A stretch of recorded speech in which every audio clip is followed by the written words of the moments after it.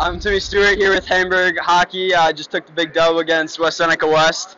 Uh, Eric Duma, uh, big big game, third goal of the day. Yeah, thanks. You know, you worked really hard out there, Hutch. You know, keeping us in the game the entire time. You got ran a couple times, but you know, kept us in it. Od, uh, any words?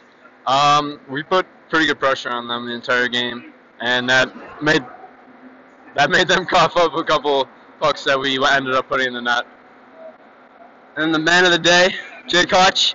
35 saves on 36 shots. Yeah. What are your thoughts? Um, I like stopping pucks, and that's what I did today. So I'm kind of excited with that about that. So, you know, a lot of credit to the boys too. I think we had a good first period. The game plan was definitely to come out strong. Um, yeah, it was basically it from the start.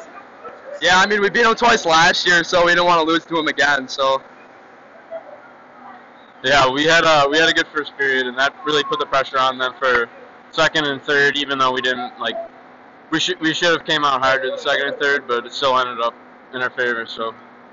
Um, we did all say it, but yes, we had a good first period. Um, I thought we slowed down a little bit in the second, but we we kept going and uh, came out with the win. So that's all that matters. Three wins this year so far. Yeah, we just gotta keep getting more. I mean, we only had five last year.